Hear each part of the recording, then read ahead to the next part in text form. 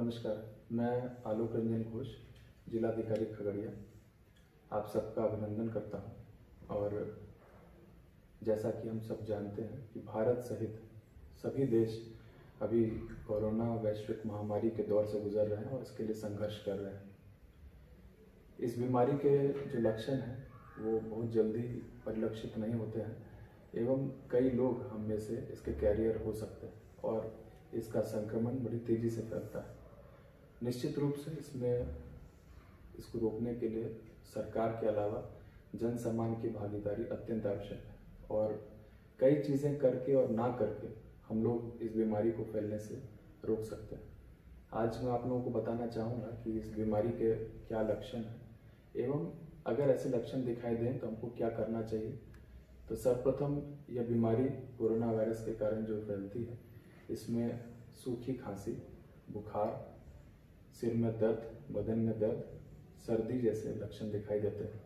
और अगर आपको इसमें से कोई भी लक्षण है, अभी हाल फ़िलहाल तो हम लोगों को तुरंत हम लोगों को डॉक्टर को कंसल्ट करना चाहिए। साथ ही साथ बाकी लोगों से भी एक सुरक्षित दूरी हम लोग को बनाकर रखनी चाहिए।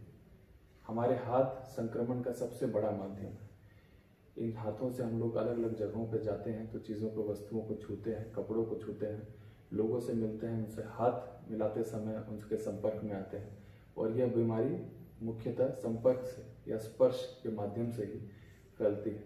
तो हम लोग को सबसे पहला ध्यान जो देना चाहिए वही है कि सर्वप्रथम अपने हाथों को हम लोग को बार बार साबुन से या सैनिटाइजर से धोते रहना चाहिए एवं प्रयास ये करना चाहिए कि हम लोग लोगों से हाथ ना मिलाएँ।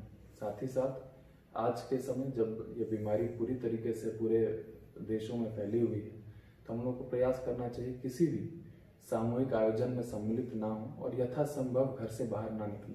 अभी वर्तमान में लॉकडाउन की भी स्थिति है, जहाँ पर किसी भी कार्य को या बाहर आने जाने को प्रतिबंधित किया गया है आवश्यक सेवाओं के अतिरिक्त। दूसरी चीज़ जो हम लोग को ध्यान रखनी चाहिए वही है कि यदि हम लोग को सर्दी जैसे लक्षण हैं या जुकाम है तो हाँ मुँह ढककर हम लोग को छींकना चाहिए अथवा मास्क पहनना चाहिए।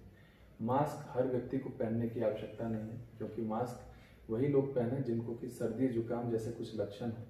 या अगर आप प्रमाणित रूप से कोरोना वायरस से पीड़ित हैं तो या फिर आपके सहयोग में, आपके परिवार के वैसे सदस्य जो आपके निरंतर संपर्क में रहते हैं, उनके लिए, साथ ही साथ चिकित्सक जो कि, या ऐसे कोई भी पैरामेडिकल स्टाफ जो ऐसे रोगियों के डायरेक्ट संपर्क में आने की संभावना जिनकी रहती है, या सेवा कर रहे हैं, उनको मास्क पहनने की आवश्यकता है।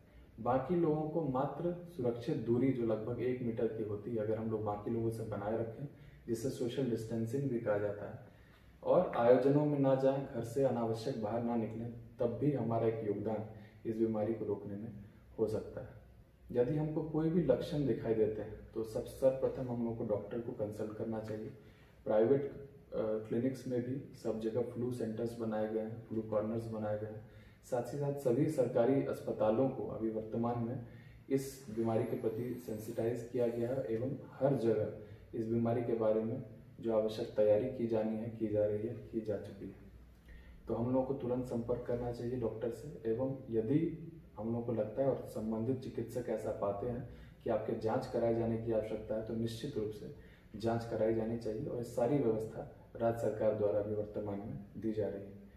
साथ ही साथ हम लोग को ध्यान रखना चाहिए कि जो टिश्यू पेपर या मास्क जो व्यवहित हो चुका होता है, उसके आठ घंटे के प्रयोग के बाद उसको सेफली डिस्पोज करना चाहिए। यानी इधर उधर ना उसको फेंक कर, उसको बढ़िया से एक कचड़े के डिब्बे में जो ढका हुआ हो, उसमें या फिर उसको जला देना चाहिए, ताकि उससे संक्रमण कहीं भी ना फैले। मेरा मानना है कि अगर हम सब मिलकर इस अभियान में, इस मुहिम में अपना सहयोग दें मात्र घर से बाहर ना निकलकर, ज़्यादा लोगों से ना मिलकर और आवश्यक जो भी चेतावनियाँ दी गई हैं, उसका अनुपालन करते हुए, तब भी इस बीमारी को रोकने में बहुत हद तक हम लोग सक्षम रह सकते हैं। मैं आप सबों के सहयोग की अपेक्षा करता हूँ और मेरा विश्वास है कि अगर हम सब मिलकर लड़ेंगे तो इस बीमारी को ज़रूर मात देंगे। धन्यवाद। सोना एवं चांदियों का हॉलमार्क जेवर का शोरूम, पता न्यू गोपाल ज्वेलर्स थाना रोड खगड़िया।